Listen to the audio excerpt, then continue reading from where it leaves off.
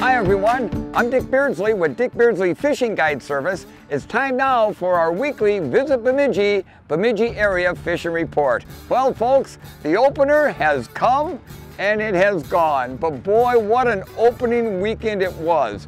Even if you didn't catch any fish, which I think a lot of people did, the weather couldn't have been more perfect. Although, to be honest with you, for walleye fishing, we could have used a little bit of wind. But hey, the walleye bite was pretty good for most folks.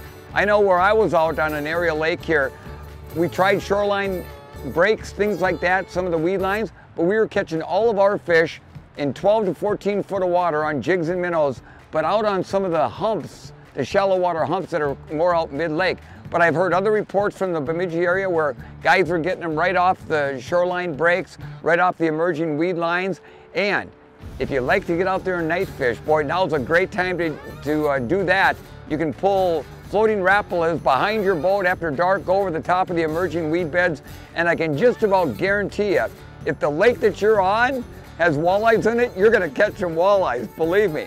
And now with this warmer weather we're finally having, water temperatures are starting to warm up. Now they're in the mid upper 50s, probably by this weekend, be in the low 60s and that crappie and bluegill bite should really start to heat up. So boy, it's a great time folks to get out here and do some fishing.